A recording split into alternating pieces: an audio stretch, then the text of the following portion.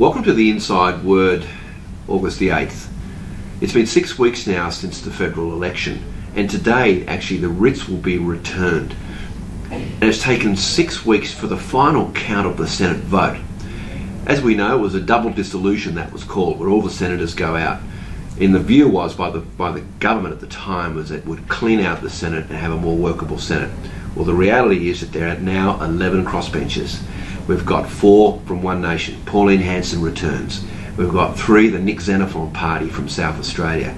And then we've got Jacqui Lambie from Tasmania, Derryn Hinch, the Justice Party from Victoria, David Leyonhjelm from New South Wales, and Bob Day, Family First from uh, South Australia. So this is going to make it more complex for the government to try to get through legislation. But in some ways, because a lot of them are centre right, the government might be able to get through, just might, the Australian Building and Construction Commission legislation plus the registered organisations, which really was the basis of why Malcolm Turnbull called the double dissolution.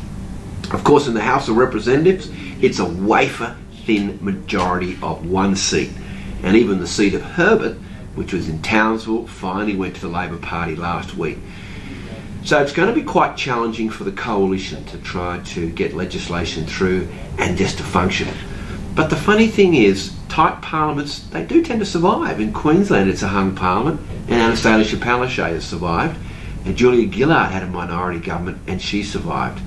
So this will be the real test for Scott Morrison, for Malcolm Turnbull, for Barnaby Joyce, and the other leadership team is, you know, can they convince the crossbenchers to pass the legis- legislation through in the 45th Parliament?